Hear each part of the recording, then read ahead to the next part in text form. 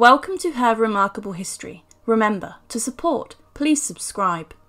The real cause of death of Catherine Howard. Now, the obvious answer to the question, what killed Catherine Howard, is that she lost her head in a meeting with the executioner's axe. But putting the obvious aside, how would a young teenage woman end up losing her head at the behest of the king? Catherine had a scarred childhood. She was subjected to loss and was forced to grow up before her time. Catherine lost her mother when she was around 10 years old, and her father sent her to live with her step grandmother. It was here, in the home of Agnes, the Duchess of Norfolk, that Catherine's fate was sealed. For within the decade, Catherine would have been groomed by a multitude of men, married to a man who was more than double her age, and severely obese and had a temper and then lost her head at the hands of that same man, the king. Catherine Howard was born to an upper class family between 1518 and 1524, but the exact date is unknown. Her childhood, up until the age of around 10, had not been recorded in the history books, but what we do know is that when she was around 10 or 12, her mother passed away. This meant that Catherine was then moved to live with her step grandmother, the Dowager Duchess of Norfolk, Agnes. Now, Agnes is what we would call a distant guardian. She was not protective over her charge, and Catherine was left to do as she pleased, but she was merely a child, and a child is easily exploited. The time that Catherine spent in the care of her grandmother shaped her for the rest of her life, albeit a short one. There has been a question debated within the historian circle, and that question is whether Catherine Howard knew what she was doing when she had a sexual relationship with men other than Henry VIII, who later became her husband. But something we do know is that the decisions of Catherine and those around her when it came to intimate relationships are ultimately the ink used to sign the death warrant for the young girl. When she was around 13 years of age, a man named Henry Manox had intercourse with her. Catherine and the other charges in the house of Agnes were often left to entertain male admirers unsupervised. However, Henry Manox was not just some male admirer, he was actually Catherine's music teacher, and he made advances towards Catherine. It is unclear if those advances were reciprocated or not, but that should not matter. Henry Manox today would have been in a position of trust, and his advances would have been breaking the law, for Catherine was just a child and Henry a grown man. This relationship with Henry Manox taught her a lot in the terms of bedroom antics, and when she married Henry VIII, it is said that he was amazed at her skills, but again, this was not something that should have been celebrated. Next, Catherine was introduced to a man called Francis Dereham. He was entertained by Catherine and her friends in the house of the Duchess, and Catherine went on to have sexual relations with him as well. In the 1500s, gossip was rife, and the virginity of an upper class girl was considered an important asset that should be protected until marriage. Reputations could be ruined, and a young girl's prospects destroyed. Agnes, the Dowager Duchess of Norfolk, failed in her duty to protect Catherine, and Catherine's childhood would come back to haunt her when she married the King of England.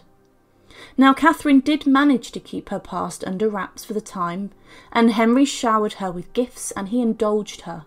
Catherine was certainly subjected to her marital duty, but with Henry away from court more often than not, Catherine found comfort in the arms of another man, Thomas Culpeper, it is unknown if the relationship went beyond the realms of just friendship, but this is the relationship that ultimately sealed Catherine's fate.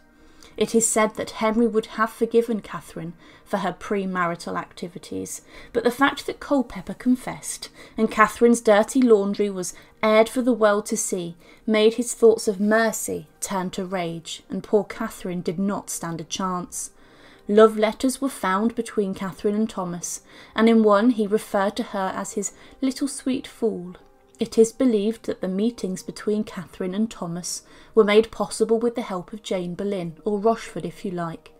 She had arranged secret meetings between the pair, and it's also thought that these meetings went on for months and no one suspected a thing. It was only when word reached the Archbishop of Canterbury, Thomas Cranmer, of Catherine's situation and her behaviour whilst in her step grandmother's household, that Catherine's world came tumbling down.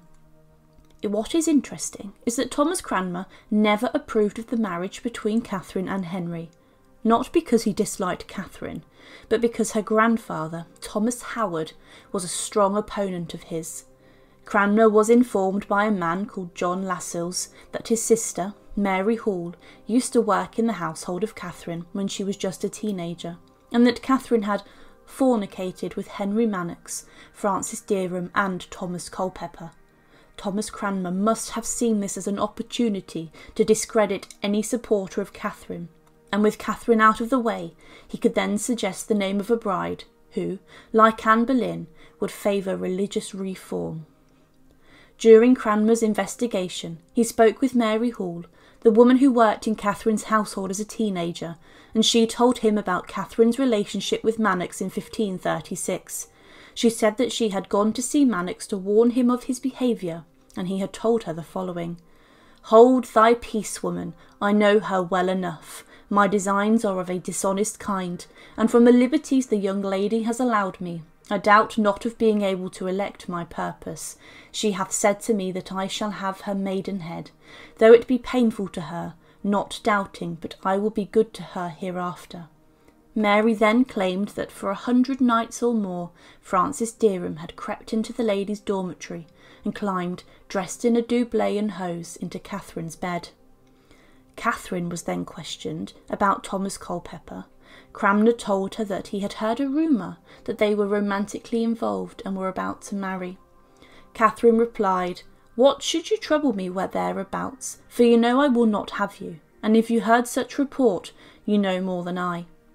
Cranmer was searching for someone who had committed adultery with the Queen, and Thomas Culpeper was to be arrested and questioned.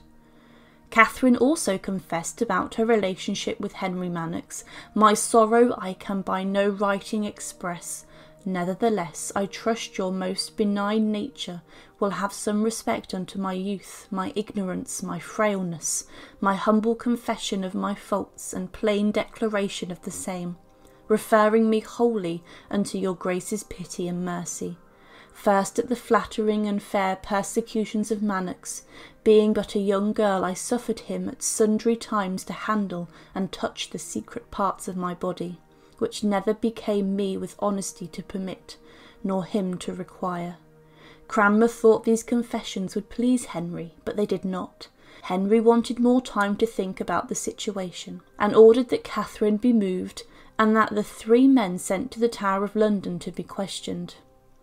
Catherine was held at Syon Abbey for the duration of her imprisonment, whilst Henry stayed at Hampton Court. Henry saw Catherine for the last time the day she was arrested. When Henry Manox was questioned, he admitted he had been employed by the Duchess Agnes to teach Catherine music and singing, and admitting having tried to seduce her. When the Duchess discovered them kissing, she had beaten them both, and commanded that they should never be alone together again. This had not deterred Manox, and on other occasions she had agreed he might caress her private parts. In his words, he had felt more than was convenient. However, he told his interrogators, upon his damnation and most extreme punishment of his body, he never knew her carnally.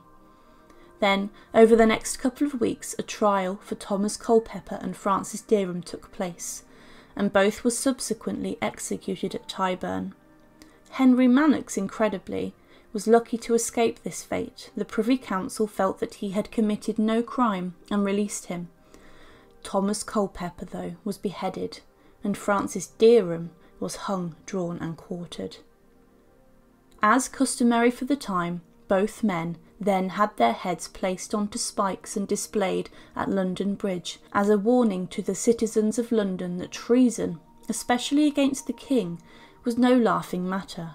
It is believed that Catherine was aware of these executions and the fear she must have felt knowing deep down that she must be next. What is sad is that whilst Catherine was imprisoned, a new law was passed, a law that made it treason for a queen consort not to disclose her sexual history to the king within the first twenty days of marriage, as well as to commit adultery against her royal husband. This law was called the Royal Assent by Commission Act in 1541, This act then meant there was no need for a trial, and the evidence was stacked against the helpless Catherine Howard, who was then sentenced to death.